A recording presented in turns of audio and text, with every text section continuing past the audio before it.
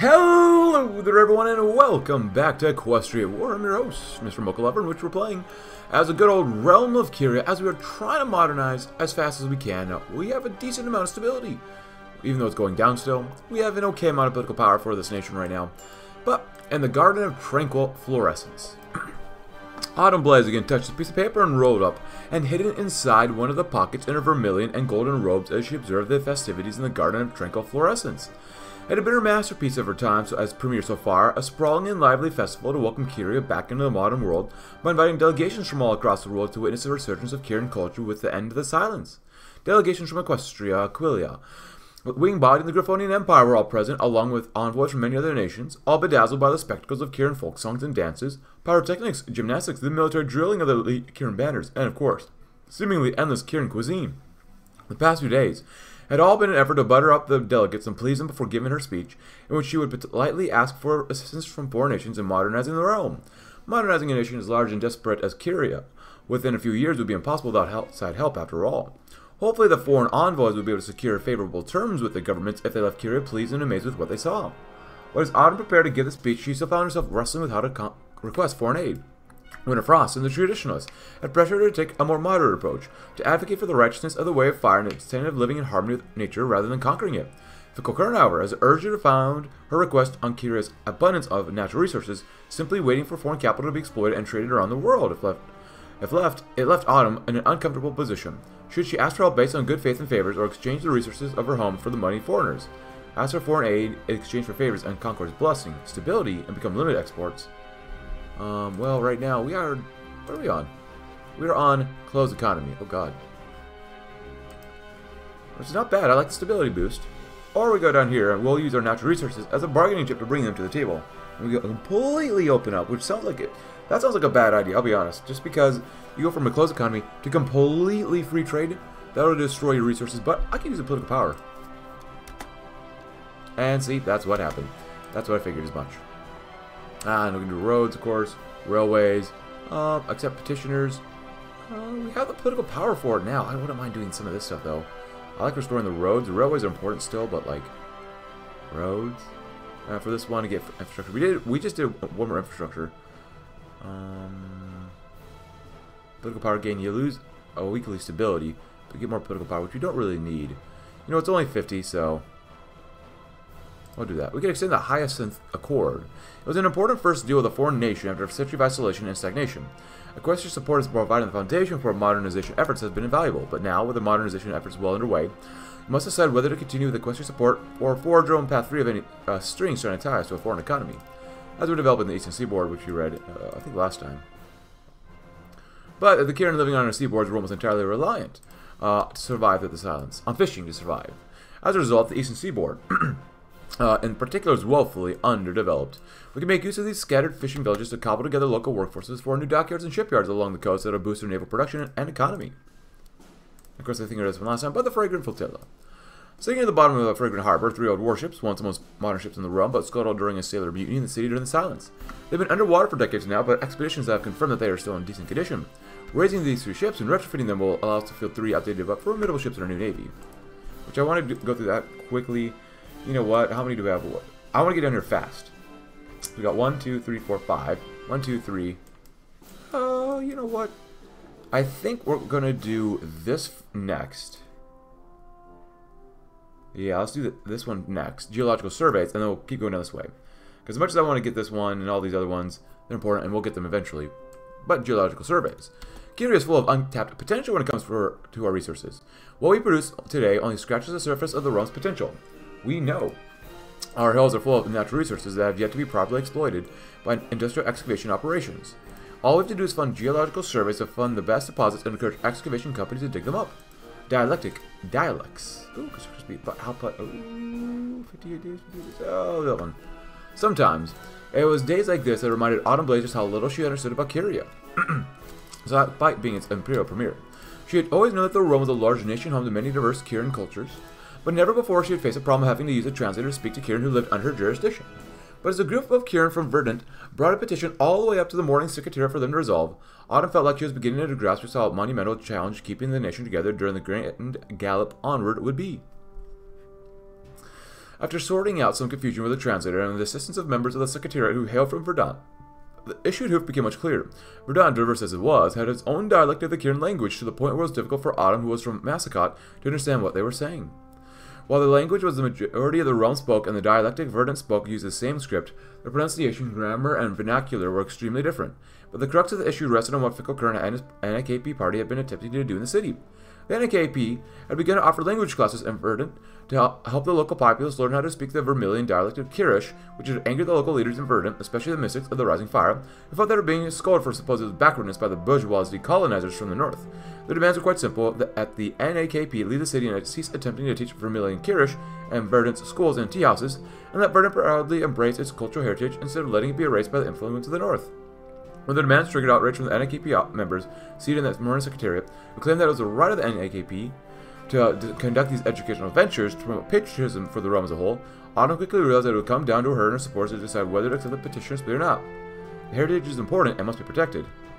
One culture and one heritage will make the realm great again. That's right. Oh, we're moving more political power. Okay, uh, well, we did roads. I want to do roads all together.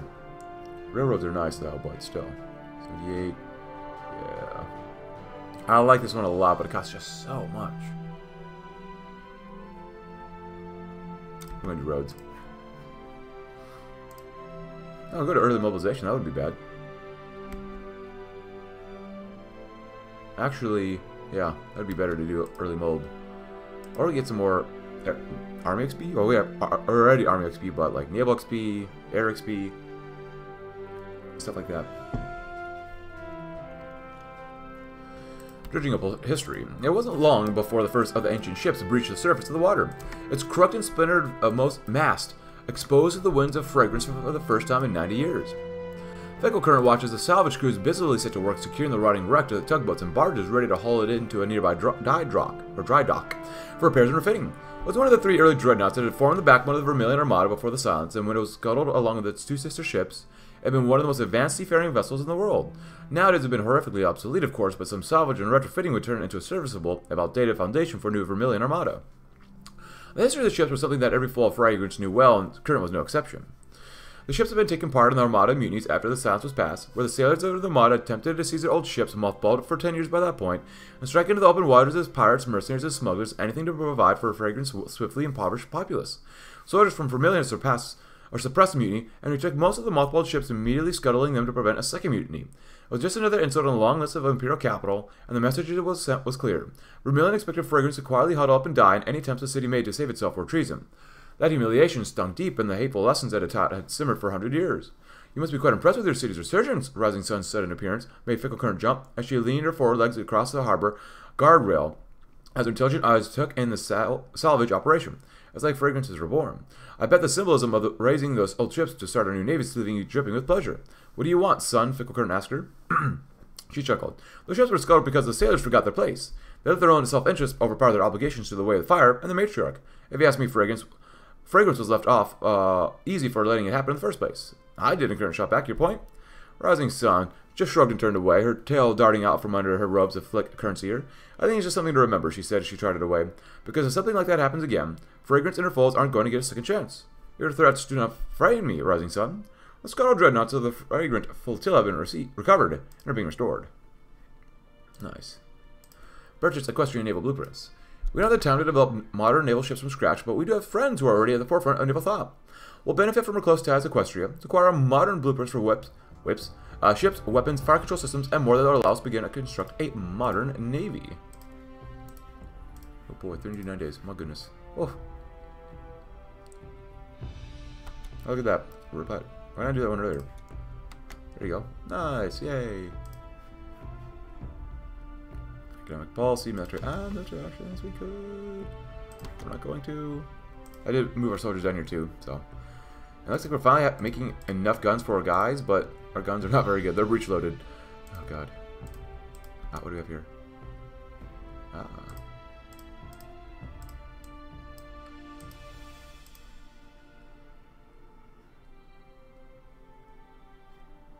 What do we have on these things? Obviously they're not very good, but still. Oh god. Goodbye.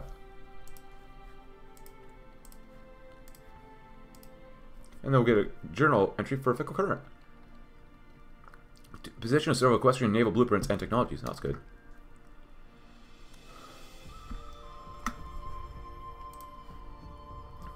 Well, um, Seafarer Marines. The Psyche Psyche Trading House was a long employed has long employed uh, seafarer marines in Griffonia to protect the ships from pirate attacks when moving valuable goods along the high seas.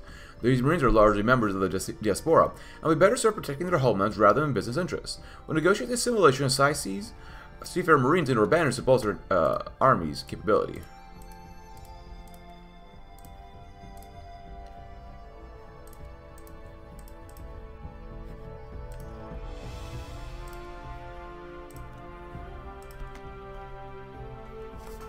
Think it might be best if we... Ooh, look at that, an honest trade.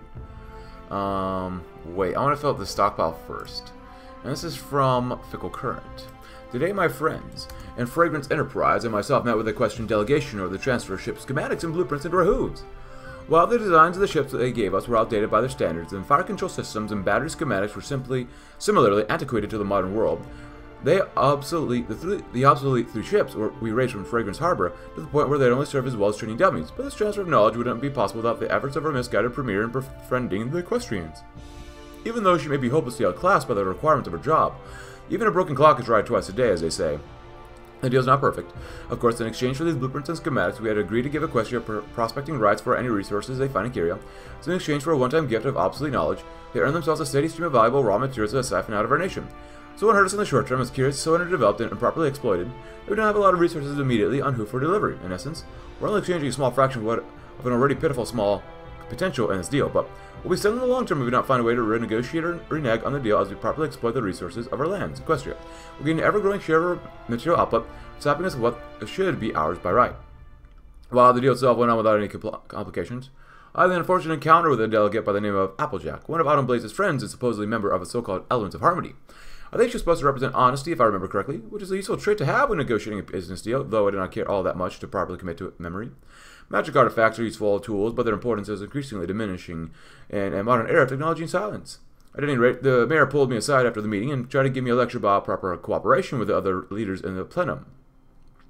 And though she did not outright say it, she impl implicitly accused me of using my plenum for the benefit of my friends and myself over the benefit of the realm. While she is correct that the path of modernization I wish to take Kiria on does directly benefit the returning diaspora like myself, it also stands to greatly benefit the realm as a whole. And cooperation with my colleagues only comes when they meet me halfway. It's not fair for one party to bend over backwards to please an uncompromising partner, after all. I did try to explain this to her, but the mayor must be part donkey. That would explain her stubbornness, at least. It seems that the only system she's willing to accept and understand is the one that directly mimics the equestrian model of harmony, and anything else is completely foreign to her. Now at least I understand where Autumn Blaze learned her helpless idealism from. Proper cooperation with my peers still does remain an elusive ideal, I will admit, and not one that I can easily reach. Many of the ideals of the era of the cliques are simply incompatible with the modern Kiria, particularly the traditional nonsense that Priestess Winter Frost spouts out during every session of the plenum. I cannot afford to compromise with her too much. also, I will lose the backing of my followers and the supporters. They wish to see a properly modernized Kiria, not one of laden with the burden of outdated religious philosophy, and if I am perceived to be too weak, then I'll be ousted as an NKP's leader. Even in this life, it's like a business. I'm incapable executive must be replaced for the good of the company. Only in this case, the company is the country. And I can have a weak executive board if it is to prosper and be profitable. I'll have to be careful to find the right balance between compromise and dissent if I am to steer the fortunes of both Kiria and myself to a more profitable tomorrow, of course. Oh, look at this. All the super basic stuff. Cool. Nice. Are we going to develop a navy? Probably not, but we'll see. Well, at least couple ships here, though. Through flame and fury. The Vermilion Banners were once the most feared and professional fighting force in the Eastern Zebra but the silence has allowed it to decay into a shell of its former self. If we're to complete the rebuilding of our magnificent army, then we must encourage the bravery of our soldiers on the field and innovation of our philosophers behind it. Absolutely. The Tiaos mercenaries. But, well, might as well just click on that too anyways. Yeah. Oh, look at that. Battleship. Winterfrost tongued the inside of her cheek to contem in contemplative thought as she watched the last or latest ships from Griffonia sail into port. It was a cargo freighter loaded with goods from the Griffonian lands, but Gwenta was more interested in the creatures on it. Some were griffins, fewer ponies, but most were Kirin. They're all employed by the Cincy Trading House and one of Kira's old trading houses, yet few of the Kira on board had ever seen their ancestral homelands. Sin fled the realm with his businesses when the silence started and had maintained success overseas by employing members of the Kirin diaspora to sell ships and protect them with their lives too. It was coming home just like the employees, and Kira Kira had the fickle current to thank for that. But herself wasn't as thankful for the rest of the plenum about that. Saisi was brought back because it experienced fending off pirates and protecting its cargo with well-trained seafarer marines, and Kira had a pirate problem on Auburn Isle. Kira needed re the return of Saisi's business to establish foreign trade and use its marines as a stopgap measure until it could train its own army and navy, but that's just fickle currents work, and everything that Kieran did was done with his friend's best interest in mind, interests that seem so to frequently overlap with making more money. The Marines might officially have been placed under the command of the Vermilion Banner Army, when it doubted that their loyalties moved as quickly as their supposed allegiance. Were these Kirin truly ready to serve their matriarch, or were they still the Psy Trading House's creatures? If the push came to shove, Winter wasn't sure she wanted to be in the room the, when the realm found out. One thing was certain she knew. Fickle and his cronies were strengthening their own position while addressing the realm's problems. Winter and her fellow mystics would have to keep pace if they wanted to keep the heart and soul of Kiria firmly devoted to Concord and her matriarch. Every action taken is a double-edged sword. Three companies of Seafarer Marines will be incorporated into the Vermilion Banner Army. Cool. Reclaim Abernau. The pirates of Nakar uh, Isle have uh, on Isle have long been a nuisance to the realm. The constant raids along the coastlines have destabilized us for too long. The punishment is overdue. We'll sail forth with our new navy. Our modern army navy will put an end to the pirates' menace and Nakar from here on out. Oh, look at that. Nice. Uh, it's not bad. It's not great. But 16 convoy, we can work with that. You know what? Just combine there. That's fine.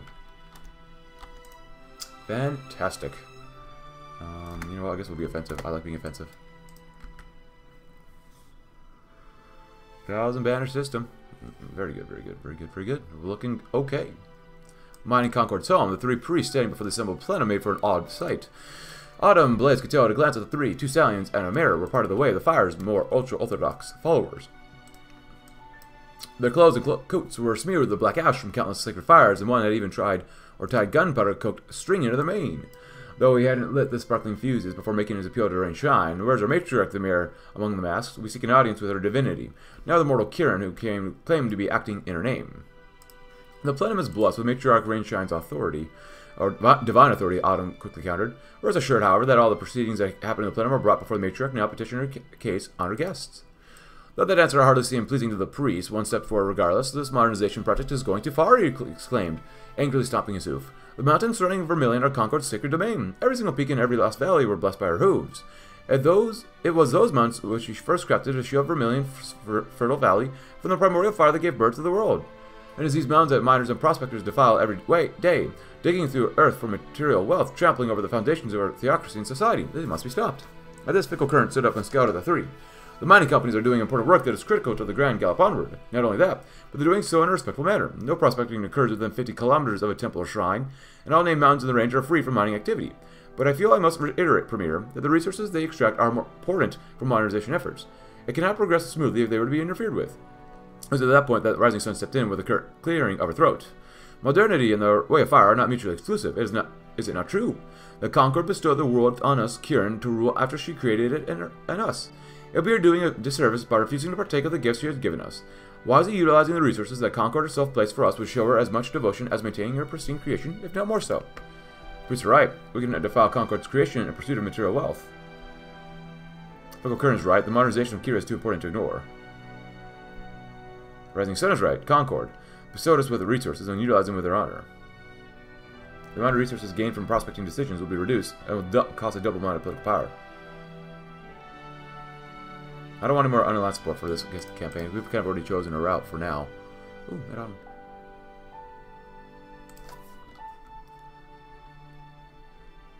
Oh, so... Okay, so we get these, these generic ones, you know. Our geologists have found a number of promising resource deposits within our territories. We can spend some capital to develop these fields. Advances in extraction technology might make more deposits viable for exploitation. Of course, why not? We're here for the benefit of all. Just remember that. Ah, one of the comments was, oh, oh my word, the developers actually reference Lysenkoism. The level of detail and real-world references just keeps going up. That's absolutely true. The developers of this mod are some of the best. Absolutely some of the best in the entire Hoi 4 community. And someone else says, long live our modern Curio, once we. Cool. So after this one, this one's important to get. Get more stability in Warsport, which is great. We get the event the capture of Auburn Isle and reclaim it from the pirates. Um, for this one, though, we need industrializing society active and more than 40 factories. So, messages, messages. Uh, Army XP is nice. Ooh, Army XP gain research XP, that's good. We still want land repossessions, so we gotta go here. Land repossessions. Much of the Rome's lands fall into one of two categories. Unpopulated bastions of nature or sprawling subsistence farms. By concentrating our efforts on reorganizing our farmland and making inroads into untapped natural nature reserves, we can greatly expand the amount of available land we have to build for building projects, allowing us to increase the density of our growing industrial base. Fantastic. Troubled waters of Hyacinth. Ships spotted off the port bow, uh, gunners at your stations. Fickle Current looked up from his books as the sailors scrambled about the steamer, spurned on by the captain's called arms. Setting aside, the business Kirin climbed to the top deck, dodging a few sailors hurriedly moving up and down the stairs leading into the ship's hull, and found a spot along the port side of the ship, where marine squinted out over the waters with a frown. Ships? Current asked him, was spotting three outdated junks sailing towards the steamer. Are they pirates? We're so close to Hyacinth. Hyacinth, so I likely, the marine responded. They aren't answering to our signals, so they're likely part of the Neckar Armada. Not to worry, though, the forward gun on the ship can turn them all into splinters before we get in range of the muskets and cannons. Fickle nodded, his ears flattening as the steamer's forward gun let loose a warning shot to ward off approaching ships, the shell creating a plume of frothy white water where it landed.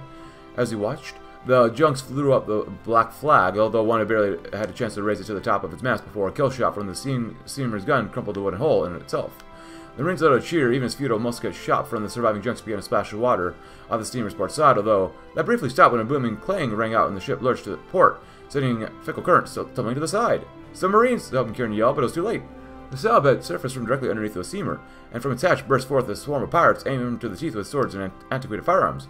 Ropes flew up over the starboard rails, and the subsequent onslaught of the pirate boarding party overwhelmed the Marines, who could only muster a token resistance before they lost the deck. Fleeing from the carnage, Fickle stumbled through the steamer's narrow corridors, sighing relief as he ran into a quartet of sailors armed with rifles and bayonets, prepared to fight on in a rear guard action below decks. But hurtling out of a side corridor was a mare, garbed in splendid raiment with two swords held aloft in her magic, falling upon the unprepared soldiers with their twirling blades and cutting them down in a flurry of steel. Chagrinus Kern tried to stop, a slide to a stop, and before he could gallop the other way, spun one of her swords around in her magical grip and smashed a pommel against the scales under his horn. Darkness. Oh god. National Bourgeois Esther. Oh god. Now it's going back up again, so. But we lost 10% construction speed, god dang it. Uh, actually, we could choose someone else if we really wanted to. Acceptance of supremacist ideology is not bad, but still. Ooh. If I can replace some of these guys. Can I replace you guys? Winter Frost? Autumn Blaze. I don't want to get rid of Autumn Blaze because he's doing stuff. What happens if I get rid of Winter Frost? Weekly stability goes up. Days perform a line. Point. You get Ooh. Master Impact. 450, that's a lot. I don't mind getting plus 15% more, political power, though. Well, well, let's wait. The matriarch of the Auburn Isle. Fickle Current sat in the corner of his dark cell, wondering how much time had passed since his last meal uh, of stale bread and rice wine. He had awoken in the black abyss, convinced he was dead, and it wasn't until the heavy metal door opened for the first meal that he'd seen any light. But apart from when his slot in the door opened to give him his meals, it was barred shut.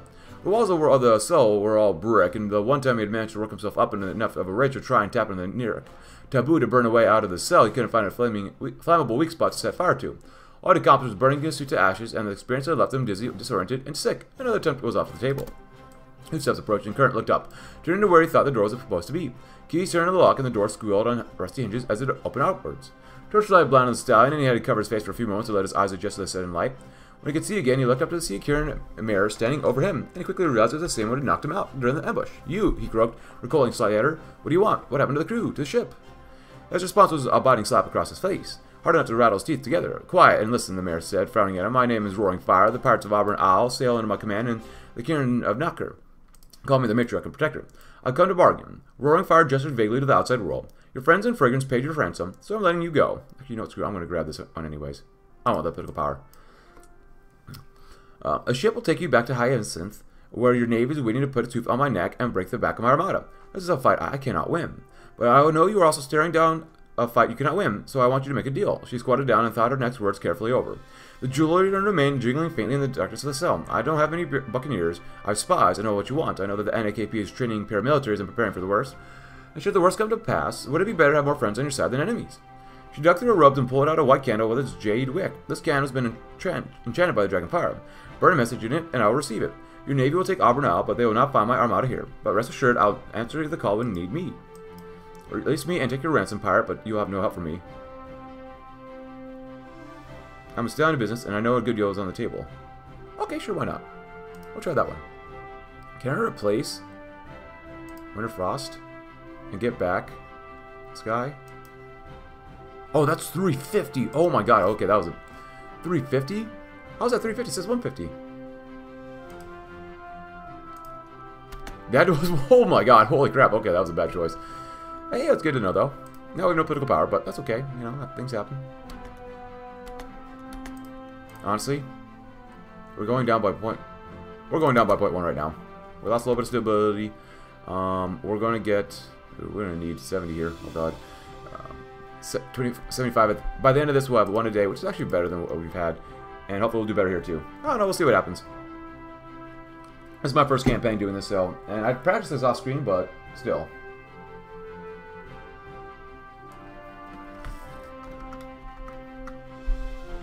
The capture of Auburn Isle. The Fickle Current watched from the bow of an armored uh, junk as a fragrant flotilla steamed into Knacker's harbor. The Marines quickly seizing control of the docks and allowing the larger troop transports to dock and disgorge their troops.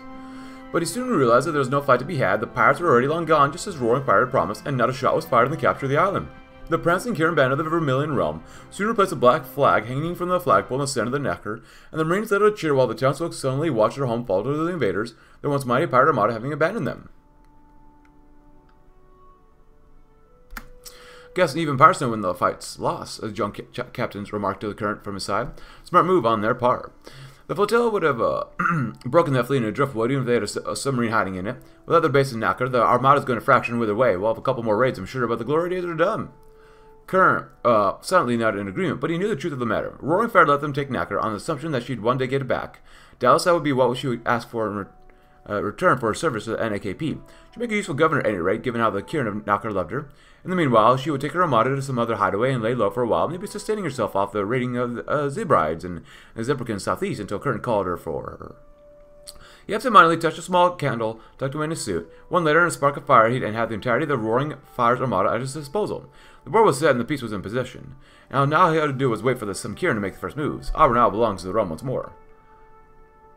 The pirates of Auburn will occasionally launch raids on the Kirin mainland. Auburn will no longer be a demilitarized zone. Remove Pirate Haven. Great. Hopefully we made a good deal. Because we're all about making good deals. Fantastic. Despite, uh... uh don't look at that political power amount. Oh, God. Northern Industry. Fragrance and Rhapsody were two important bastions of modernization before the Silence, and both cities resisted its imposition to various extents, planting the seeds for future modernization efforts. Now they'll be some of the first cities to benefit from the resurgence of modernization, and are already constructing massive industrial complexes to capitalize on this change. Hey, we're looking better. Already nice. Losing fuel every day though, but whatever. So when we're done with this one, we're to get 75 more political power, which is nice.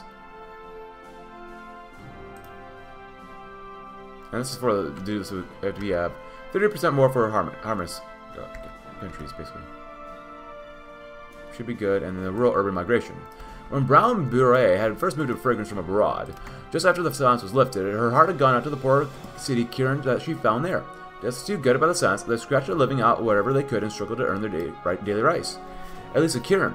And the country could feed themselves, she mused bitterly as she lowered the morning's type set into her cankerous little printing press. She had quite a scathing pamphlet to print today, and would need to take the press apart and hide it before she hit the streets to distribute it. In the past month, the Plenum's latest decrees about a Agiran consolidation taken a hard toll on fragrance. Every day, caravans of poor farmers whose land had been bought up by the state wandered into fragrance, having been promised jobs, homes, and all the amenities of a modern city.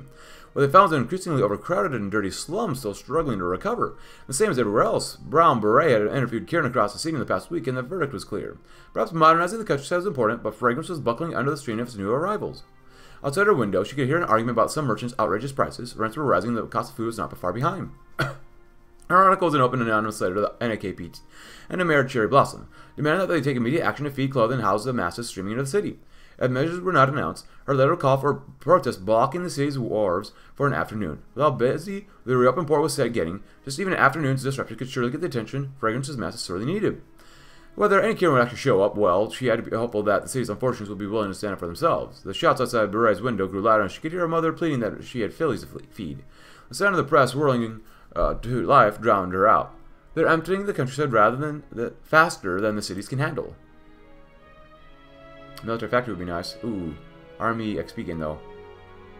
Uh, yeah. The new standard army.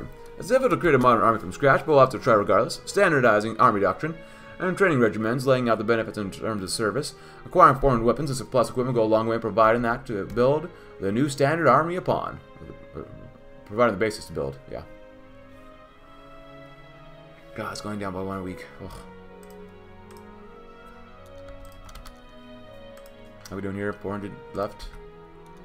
Ooh.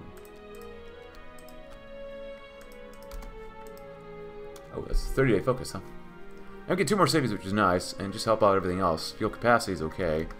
Output, research speed, monthly population, resource efficiency gain. It's all very good. Yeah, that's that's really bad. Supply consumption is not very much though, which is good. Oh, look at this. From good old Autumn Blaze. I left Vermilion a few weeks ago to visit the new steelworks that have been erected in Fragrance and Rhapsody, argued for and funded in large part by Fickle Current and his like-minded business partners. I've traveled a bit, a little bit around the realm as part of the job, and even as a little bit before that when the silence still had our people locked in its grasp. But I've never been this far north. I thought all of realm was like Vermilion or Mascot, either withering cities, dwindling as they decayed, or the small villages full of Kirin trying to scratch out simple lives with no support or assistance from the government.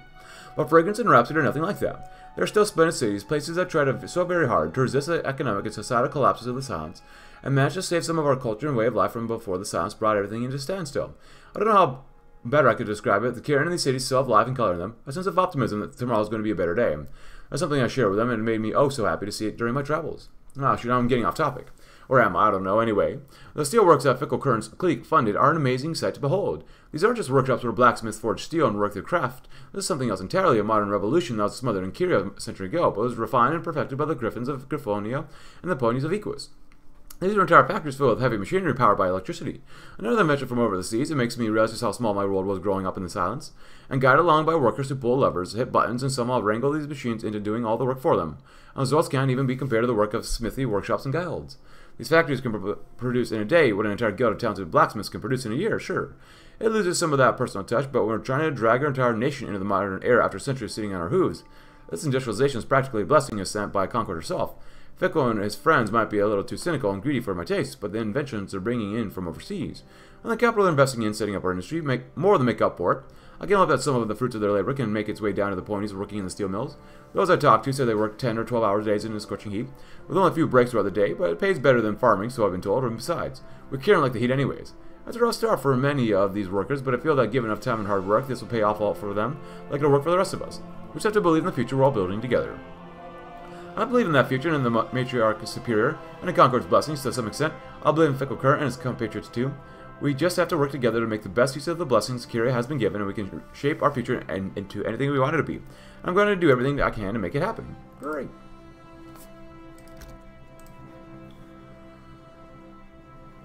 Mm, pony power's not bad, but guns, uh, I don't know this ability yet. Recommission the Rhapsody Arsenal. The Rhapsody Arsenal was once the forefront of the Kirin weapon invention and gained fame from across eastern Zebrica for the quality of the cannons they manufactured. But for a century now, the arsenal has been closed and abandoned. It's time to reopen the mm, arsenal and combine the inventions of the modern era with the ingenuity of the Kirin that once made it so renowned. Ah. We're getting there close. And we're not going down as much, which is good.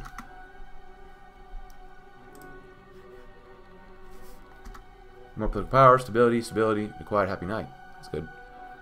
We'll get there.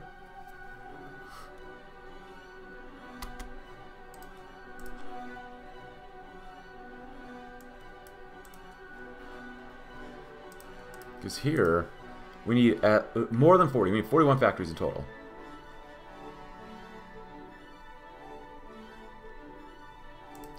Recall, rearm, regroup.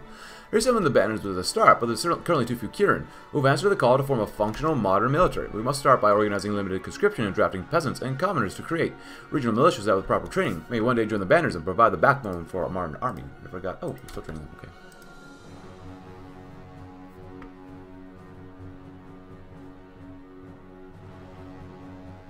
From the silence uh, are lifted ancient texts on the nature of warfare, as well as Kiria's lengthy annals of its own struggles. Coupled with the advent of the 11th century tactics and ideas from around the world, our finest strategists will adopt the practice of war games to determine what a Kirin soldier can do in these new days. Kirin Valiant research schemes. Taking on vows of discipline and self-mastery, Valiants are elite warrior monks who utilize their Nirik forms without losing themselves in feral wrath. The two must not be left behind in the wake of the future. When the soldiers they shall fight with will with carry will carry not blades but bullets. Treating their Valiants in these new ways will bless the winds of battle with the dreadful blades against their forces. Infantry support research scheme. Before can, can fight with the enemy, they should take care of how many things before hoof. How will the battlefield be reached? Where's the enemy and how strong are they? How will they carry supplies and reinforcements? Um, uh, carry to them and fast. These are more must be tackled, though the idea of supposed support companies is gaining much traction. Artillery is research scheme. The Kirin have had an affinity for black and firepower, firepower powder, tending to their love of explosions and civilian fireworks. Thus, when they learned of what essentially were glorified rifles the entire size of entire houses, various organizations and guilds put forth plans to fashion the artillery of other countries with ex expertise of pyrotechnics. Had been ignored during the silence, but within the three and a half year plan underway, Senate let them press, present their ideas to the military and see what will become of our own modern day cannons. Special Forces Research Scheme. From before Kiria's unification sprawl lengths of Kirin warriors who can fend off a thousand foes with a single word, sword, an hours-long Nirik State or their own bare hooves. But what if they become a reality for today, and enough numbers to bolster dozens of regiments? Mustering up Special Forces units for Kiria will, on top of granting our army flexibility and unusual capabilities, surely spawn proud living tales of heroism.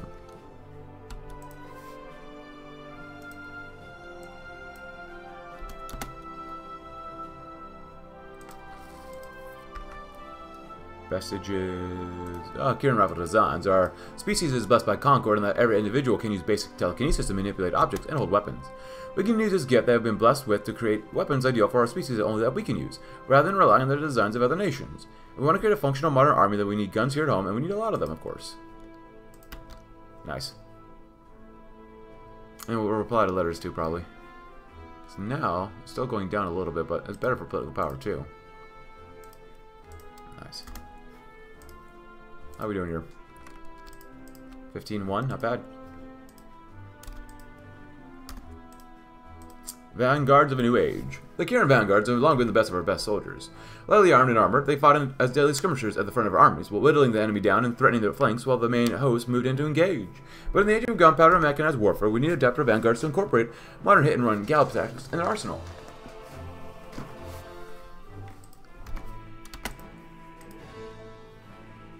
As much as I want this one, doesn't help with research speed. So, Valiance. Be nice. You know what we're gonna do anyways.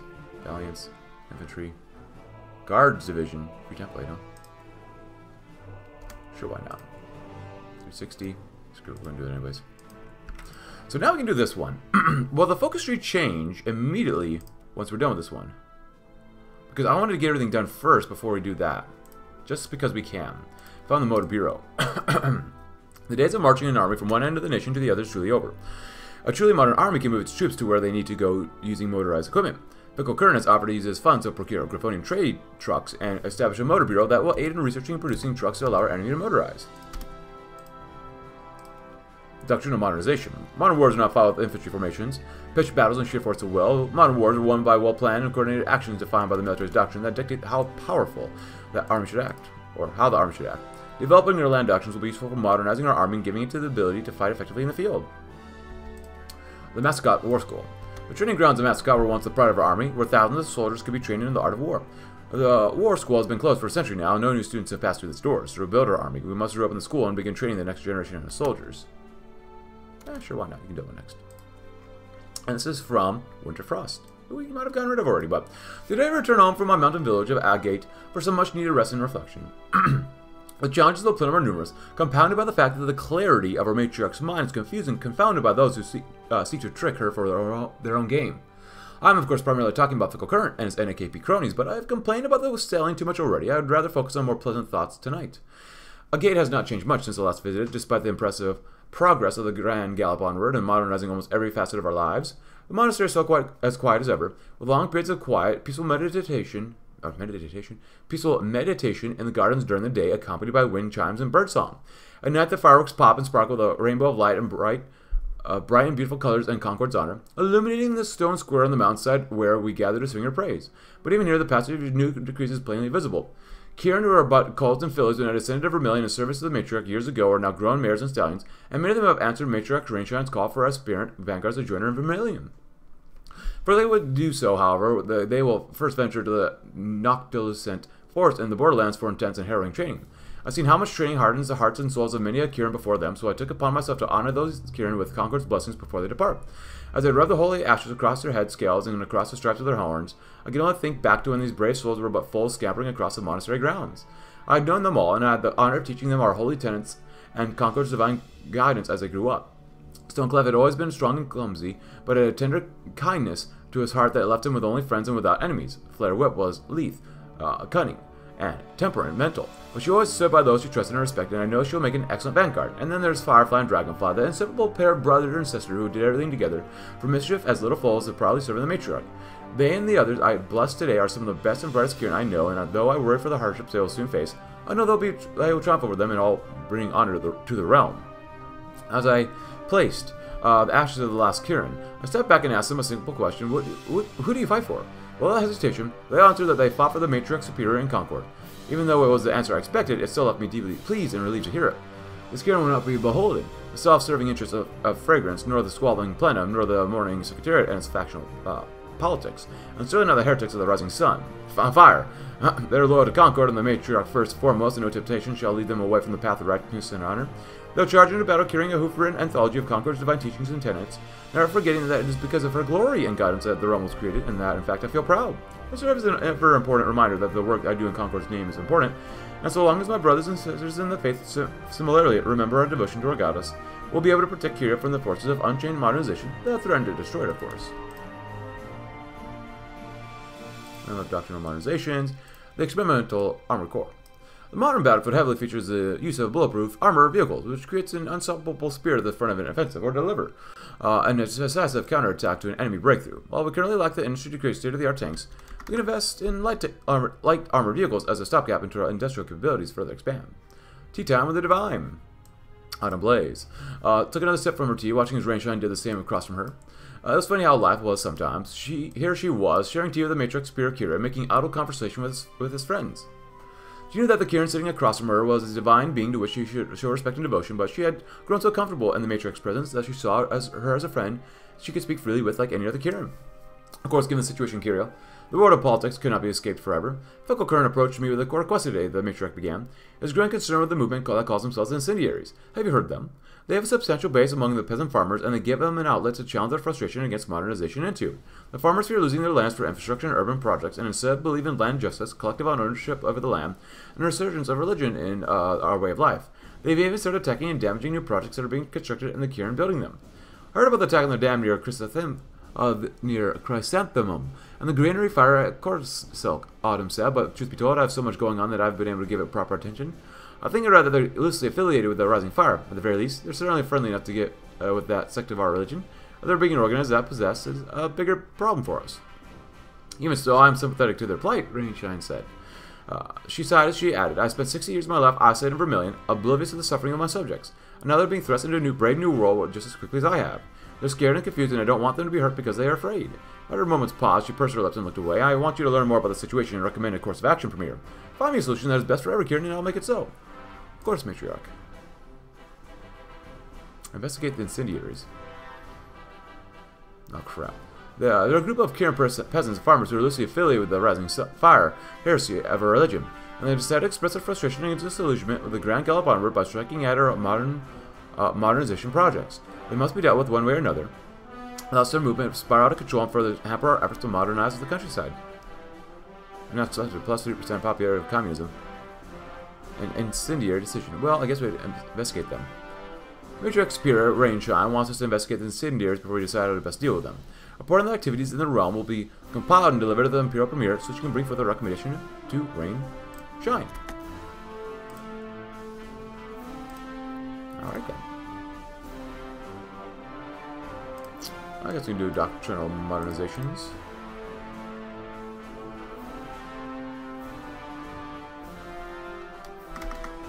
So how are we with this? Motor-driven computers. I'll get this one first too. This extraction game would be bad. Where are we at for this? Oh, we're looking okay. Not bad. Uh, we're doing that stuff too. Artillery. Let's get some better artillery. My god, do we need it. Alright, so we're here. How much does this cost? 130 is not bad. Substantial science base. Um, is it going to get any better soon? It doesn't look like it, so you know what? We might as well. I want to go uh, Superior Firepower. And for here, um, no, we're not going to go here. It's probably Fleet in Being, maybe? Let's just start all the stuff. Because I want to grab, oh, what is this? Best of the best. Overwhelming firepower is always good to do. Accomplish heritage is not bad. Experience gain. Proper heritage. Ah, that makes sense. I like overwhelming firepower though. Hmm. Design costs.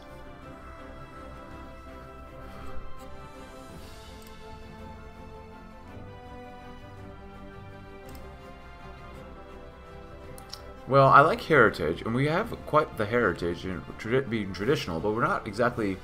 We're kind of moving away from that, which is why... So, I think... Professional Corps, I mean, that would make sense what we want. I'm going to go Overwhelming Firepower, because you get the best bang for your buck. So, let's go with that one. So we can do this, 16 combo with. Um, the Levy, I hate Militia.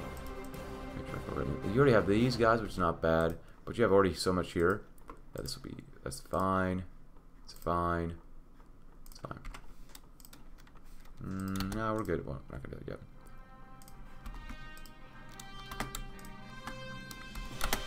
Because you will need a train. Wrecking the cinders.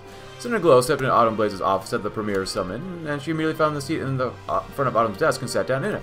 I'll put together everything I can find and then send yours for you, she said, placing a binder down on Autumn's desk. Want me to give you the quick briefing, or would you rather read it for yourself? I trust that you get your point across, Autumn said, pulling the binder over uh, towards herself. I mean, that's why I hired you in the first place, right? Right, Cinder uh, Glow agreed, and she took a deep breath before starting.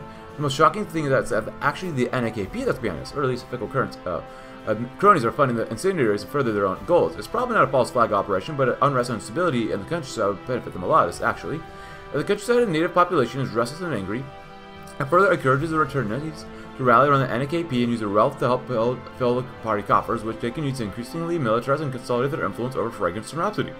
They've been buying a lot of modern weaponry, even bringing in tacticians from Griffonia, help train the paramilitary forces. Now, by all accounts, it looks like they're gearing up for a struggle, and the Incendiaries are just a pawn in their movement. Fickle Currents just keeps finding ways to turn off a mirror. Autumn said, sticking out her tongue in the disgust. I know he was sleazy, but this is just on an entirely different level.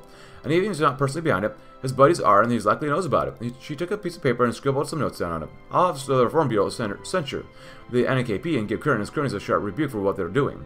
Proving it in court will be an entirely different beast, but even letting them know they were onto them and the Matriarch is displeased should put a stop to their efforts. Any Kirin is found to be responsible for this is not going to hold on to their power in the NAKP when they lose the Matriarch's favor, and powers of what those Kirins desire the most. Let's hope that the Fickle Current learns something from this chastisement.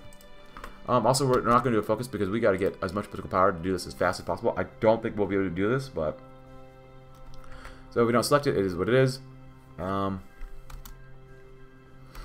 in 30 days, can we raise 50 arm XP? Or 50 political power?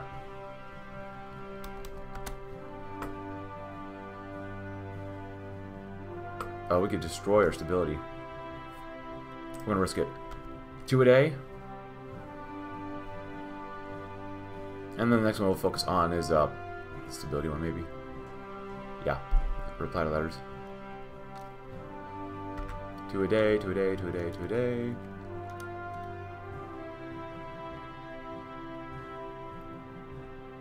Because I don't lose 250 political power, so. Oh, wait, what? In the west. the Plenum gives the floor to Governor Amber Green of Auspicious Clouds Province. Autumn Blaze watched as the governor made her way to consider the center of the Plenum's chamber to speak. The woman must have been in her late 60s, but she carried herself with a fire and brimstone air about her that made her seem imposing and youthful despite her age, and she wasted no time launching into the reasons why she requested this audience with the plenum in the first place.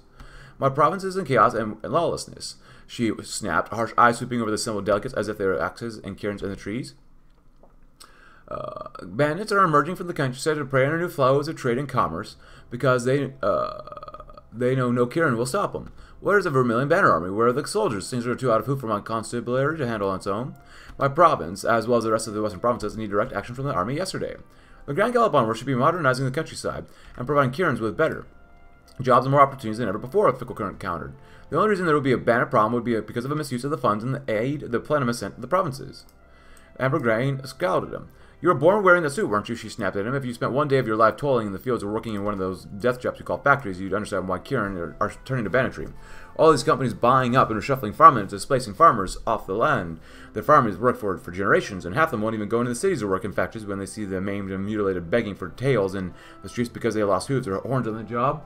And the farmers there work their labor to the bone for little more than a tail an hour, with no protections and no rights. What else is the Kirin without skills to do but turn to banditry? So until you fix it up, the West needs soldiers if it's going to deal with the bandit problem. We need to secure the West from bandits if we want the Grand Gallop onward to be successful. God dang it, are you kidding me? An incendiary decision. Autumn Blaze bowed as a formality when Rainshine's attendant led her into the Matriarch's reading room. Normally such a greeting wasn't necessary between the two friends, but when the other Kirin were around, it wouldn't do to act disrespectfully to the country's divine Matriarch superior. Autumn had at least learned enough about politics to realize a slip up as small as that would give her rivals an opening to try and take her down in the next gathering of the plenum. But when Rainshine dismissed the attendant and the two Kirin were all alone, Autumn Smother joined Rainshine by her side of the floor. I spent some time looking further into Incendiary's matter, she said, and placed a folder full of papers before the matriarch. And I mean, phew, these Kirin are sure going crazy. They're not really a huge problem right now, but we let them grow out of control. This incendiary situation is going to grow into an inferno. So the way I see it, you can either strongly condemn the incendiaries into the government, or express sympathy and ask them to cooperate so that we can actually get to the root of their problems and help them out. I see, Rainshine noted, but then she frowned. And why would I not simply choose a sympathetic route? They are still my subjects despite their lashing out. Uh, because, well, frankly, Matriarch, there's a chance they won't listen to you, Autumn said, anxiously rubbing her hooves together. You're our divine Matriarch spirit by all rights and blessings of Concord, which means that your word is her word, will as well, but and Kirin should listen to you immediately, but the incendiaries might be too mad at the state and the government to listen to you. And if Kirin and the country start ignoring your divine voice, then that undermines your authority to a considerable degree. She sighed and shook her head, and as much as I hate to admit it, I think the condemnation is a safer option. You can call upon all faithful Kirin to the land and report on incendiary activity, and aid the authorities in cracking down on the movement. That way you're appealing to Kirin who already respect you rather than those who don't. They'll listen to what you have to say, so you don't have to worry about losing face with them. But you're going to make the incendiaries a lot angrier if you condemn their movement. Then she bitterly uh, chuckled and added, Oh, and forgive me if I say it, Rainshine, but I'm so glad I'm not our matrix spirit right now. I'm not the one who has to make the decree. Let's condemn the incendiaries and their movements. We must sympathize with the plight of the incendiaries and ask them to cooperate. Condemn them. We need to do that. Bandits have been long been a problem in the more rural and unsettled parts of the Western realm, but throughout the period of modernization, they've grown ever more troublesome. Caravans and convoys bringing much needed supplies and goods to the west are frequently attacked by bandits, and we must simply do something about them before they jeopardize our ongoing modernization efforts in the backwaters of the realm. The Death Knell Banditry. it's only taken five minutes for the last bandit cells outside of Amaranth uh, to collapse. The local constabulary, supported by a couple of Vermilion banners, that surrounded the bandit hideout and demanded the surrender of every Kirin inside. When the bandit leader insisted on fighting to the death, a single shot from the mayor's skin, Mark's Kirin, ended her rule far quicker than it began and followed shortly thereafter uh, surrender to the banners. Midnight Candle. Watched with a small frown on her face as the banners were letting away or led away from their encampment one by one, with the banner soldiers guarding the columns on either side. The banners certainly didn't look like the vicious marauders they were in stories parents told their foes, rather they were poor and broken Kirin. Many well into their middle ages, many more barely old enough to be considered adults. Some had foals clinging to their legs or backs, crying in fears that parents were dragged away to awaiting their fate. All of it hurt uh, Candle's soul, and she couldn't help but mention it when the company commander tried to buy. They may be poor farmers just trying to feed their families, but they're bandits, Candle, the officer said, shaking his head. Desperation doesn't forgive the killings and stealing they've done. We should be helping them, not imprisoning them, Candle countered, and she touched her red and orange robes for emphasis. The Rising Fire wants to help all the Kirin of the land. If we work together to support one another, then farmers would have to turn to banditry to support their families. The way of fire only imposes order and treats the symptoms of unrest, but does nothing to weed out the root cause. The officer shook his head. I don't disagree with you, he began, but how far should we let an individual push their interests when it hurts so many mother, so many others? Uh, if we would ever move forward as a nation, we need to unify and deal with the problem at hoof. Maybe one day we'll be able to stop Kirin from turning to a life of banditry, but all we can do now is play catch up and stop the ones we already have. He patted Candle on the shoulder and gave her a small nod. Go back to camp and ready service and ready service for the troops, Chaplain. I'm sure there'll be plenty more like you who want to know if what they're doing is right in Concord's eyes. Today we kill bandits, but tomorrow we may not have to. Whew. Whew. Okay, whew.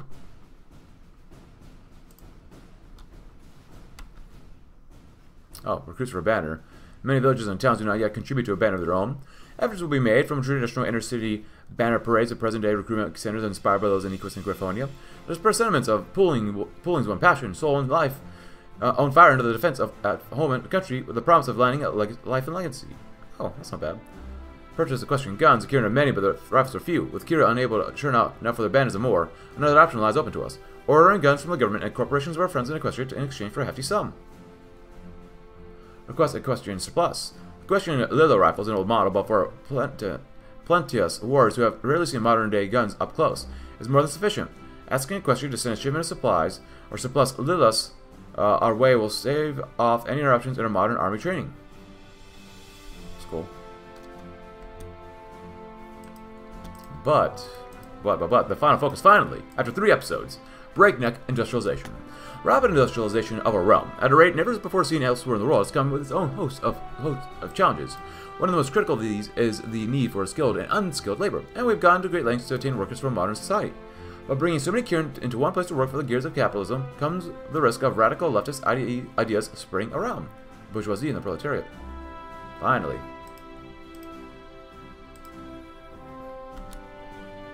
Vanguards, huh? Well, we could try it. See what it's like. Accept petitioners. Beautiful. How we doing here? Doing alright? 19 count with it is okay. Not great, but okay. Oh, we shouldn't have any more issues here. I don't mind this one. Better consumer goods would be nice. Oh, we could get more weekly war support as well. Um, but use political power for what? Partial mob? We can do that. Why not?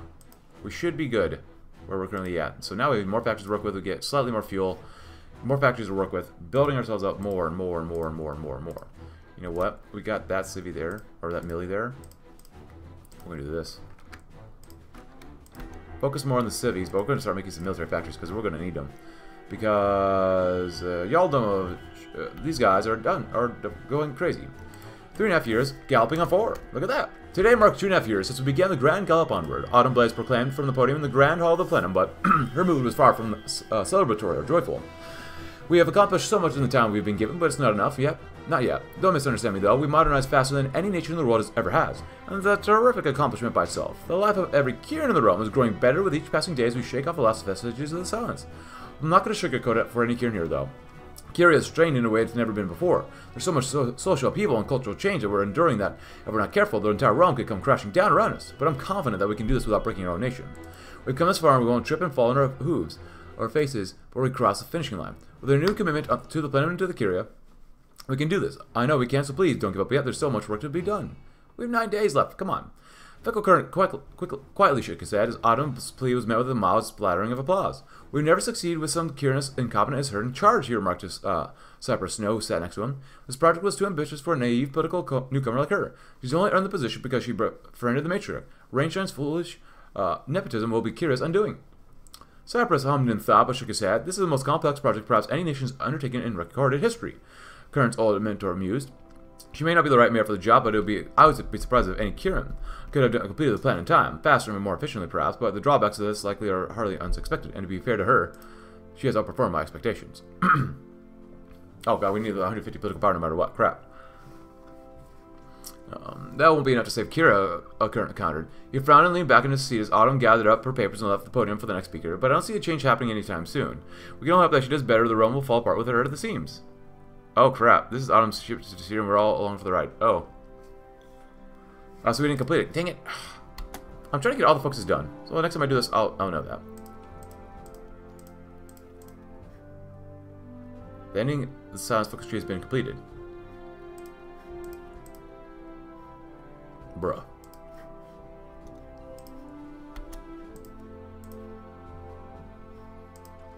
Artillery's coming along. Trucks.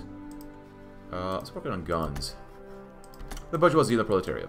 The picket lines have already been erected uh, around the factory by the time Fickle Current's automobile pulled up in front of it, with dozens of Kirin workers standing behind him.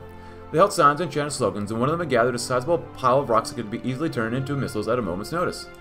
Uh, Though soot and smog hung in the fragrant air, the factory behind him was unmistakably silent, the gears of modernity ground to a halt by striking workers. Are you kidding me? Kirin frowned and stepped out of the car, moving along the cordon of private detectives and security staff that had assembled to face the striking workers. He found Cypress Snow watching them from a vantage point, a similarly displeased look on his face. The two nodded each other in greeting and turned both their attention to the striking workers. They don't have any rising fire priests with them, Fickle noted. It's not the communalist, communalist heretics this time, Cypress said, shaking his head. Some workers unionizing and sharing subversive leftist literature. There's a few rabble-rousers operating within the city who might have imported it from Stalliongrad, Pride, Scandinavia. Not that, it, that where it came from really matters. What matters is that these ideas are spreading in the city and filling their heads with nonsense.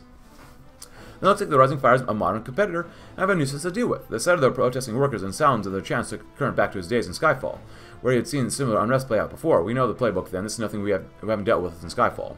Right, we'll bring in the scabs from someplace rural and tell them they're getting good paying jobs, and we'll, let the factory get cheap replacement for the strikers. Then we'll kick the squatters out and crack some skulls if we have to. Company's pockets are deep enough to let some mercenaries together for a raid. Maybe Saisi will start be willing to part with some of his marines for a bit. Cypress then turned to Fickle Brown, but we have to get control of this now and stamp the movement out at the source before it gets worse. We know how this goes because we've seen it before. We'll have to be proactive here. Find whatever subversive is stirring up the workforce and deal with them. The last thing we need is to lose fragrance to their proles. Radical Marcus will never have a home in fragrance. God dang it. I should not have done this one then. I'm just trying to make us better. That's all I want. Wow, one and a half a day. That's not good enough. A tale of two scripts. Coin Counter. Pace back and forth outside the Matriarch's, Spear, Rain, Shine, Steady. Trying her best not to show her anxiety or break out in a nervous sweat at her impending meeting with the Kiria's absolute theocratic leader.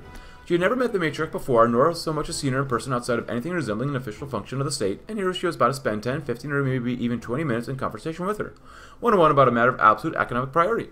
She was terrified that she'd completely forget what she needed to say, and then stared at the matriarch dumbfounded, like a deer after the invention of artificial light.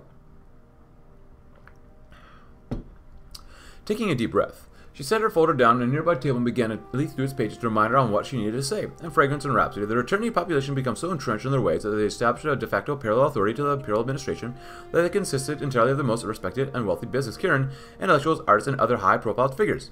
That was a political problem all on its own, but the economic problem at the root of it came from these figures' desire to use their paper, own paper money over the Kirin tael, the golden coin that had been around since the creation of the realm.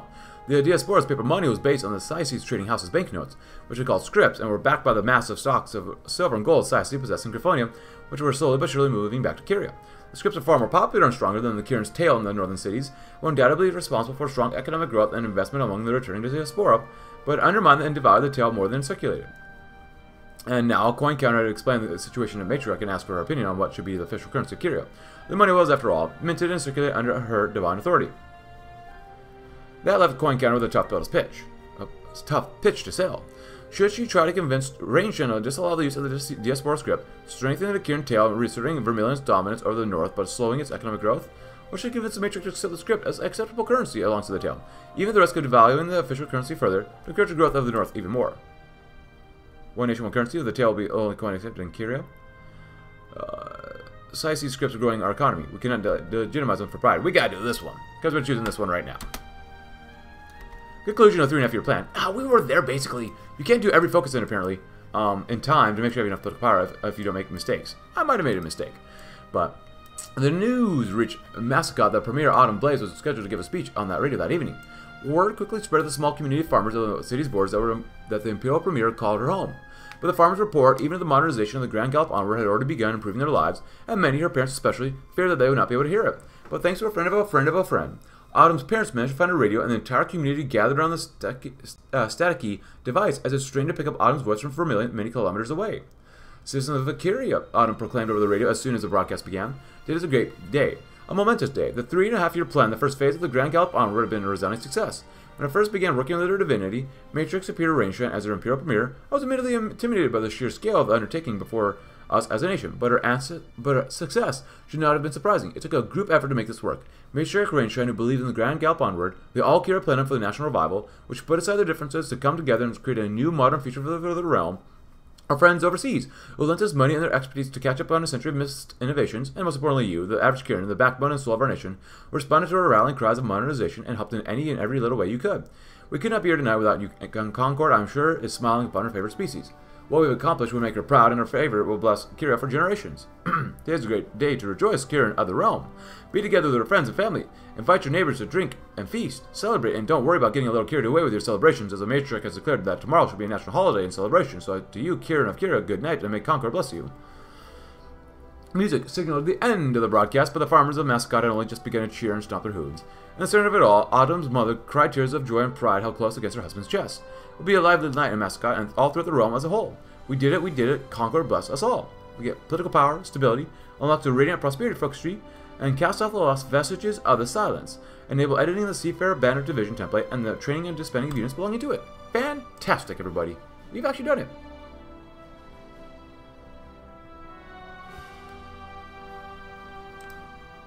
So now we have this new Focus Tree. Oh, so this is still here.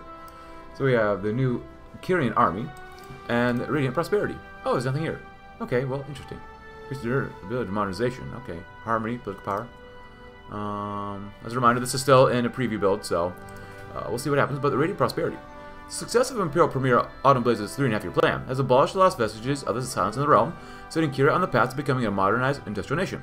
The All Kyria Plenum for national revival has matured from a shiftless uh, gaggle of bickering demagogues into a form of Kira's most capable statesman and state and scholar officials, united by a common purpose to see the realm strong and prosperous, emerging from the silence to assert Kira's place on the world stage. The millennium is still young, and the Plenum's lofty vision of an Eastern Zebrica united under the aegis of the ascendant realm of Kira may well gain traction amongst the Kirin, galvanized by the nation's meteoric rise. As the Grand Gallop onward progresses, and the realm and the Reform Bureau, the Morning Secretariat, and the Plenum all find themselves fonts of power in a rapidly centralizing nation state, Kira's diverse array of ideological tendencies must be cooperate and compromise to realize the dream of a strong and prosperous Kiria. Yeah, what is this? Declare uh, the triumph of modernization. Oh. It's been an arduous task taken delicately at the breakneck speeds, but against all odds, the Kyrians stepped out of the silence with their heads held high. Having stuck or struck the perfect balance between the quest of techno-industrialization and the dreams of every Kyrian from all upbringings, we shall return to the world stage as titans, accepting the ways of modernity on our terms. Expend Conrad's powers. Desk. A maximum amount of resources that can be produced by civilian factories and synthetic refineries simultaneously by one. Mirin Factory. The temperate local climate of Vernal Glade and proximity to existing transport and logistics infrastructure makes it an ideal location for the construction of a modern processing plant producing mirin, a rice wine used, widely used in Kirin cooking. Oh, that's cool. Awesome. So we did it. We absolutely did it. We can do this, but we're not doing that one. Oh, we could alter the deal, actually. Altering the deal. Or drone uh, free. Oh. Huh. So we can do this one. We lose some political power, but uh, we might actually do that one. We'll see. Because now we're in this one, and uh, Thousand Banner System's okay. Interesting. Radiant Prosperity. Um, do we have anything here? Ooh, Autumn Blaze becomes the leader of the Harmonic Party. Uh, that's not bad. Under a new constitution, the Imperial Premier will no longer govern us as Matriarch's of Pleasure. At the Matriarch's pleasure. The new office of the Premier of Kira will be elected by the Morning Secretariat. After all, and after all our Imperial Premiership is injured, there's only really one mayor for the job. But if you enjoyed the video, please consider leaving a like. Subscribe if you're new. Check out my Discord link in the description below, and I'll see you tomorrow. I'll see what else we can do with the Realm of Kiria. Thanks for watching. Have a great rest of your day.